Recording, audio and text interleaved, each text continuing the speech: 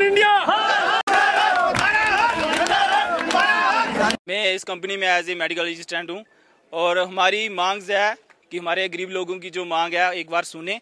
अगर ना सुनाई होती है तो हम प्रोटेस्ट करेंगे। हम पीसफुल प्रोटेस्ट करेंगे और लीगली करेंगे, जो भी बात करेंगे ऑन टेबल पे करेंगे। हमारी बहुत सारी प्रॉब्लम्स है, शायद शार्ट टाइम में नहीं बता पाऊँगा इतनी जितनी है। बल्कि बेसिक प्रॉब्लम जो है सैलरी की आ रही है और साइड में जो है फैसिलिटी नहीं दी जाती है और कई लोगों को कैसी दिक्कतों का सामना कर पड़ करना पड़ रहा है। तो इसलिए हम सबसे अपील करते हैं अपनी गवर्नमेंट की तरफ़ से और लोकल के बहुत सारे इशू हैं, जैसे प्राइवेट गाड़ीज लगी हुई हैं। उन लोगों को खाने के लिए बैठने के लिए कोई जगह नहीं पीने के लिए पानी नहीं और कोई लीव सिक लीव बीमार हो जाता है तो उसका सारा सारे हमारे पीडी साहब कई बार पीडी साहब ने भी बात की हुई है एडमिट के इंचार्ज जो हैं श्री गोगिया साहब जी उन्होंने भी बात की है लेकिन सिर्फ़ वो लारे देते हैं कि हाँ भाई आज कर देंगे कल कर देंगे गुरुस्वामी साहब भी हैं उन्होंने भी हमें कॉपरेट कई बार किया है लेकिन उन्होंने भी हमारी मांग्स को नज़रअंदाज किया हुआ है और हमारी जितनी भी एडमिनिस्ट्रेशन है हमारे गरीब लोगों की कोई बात नहीं सुन रहा है। एडमिन इंचार्ज इनकी जो सैलरी लेट है, वो सिर्फ़ इसी वजह से लेट है क्योंकि एन से पेमेंट नहीं हुई है, वीआईपी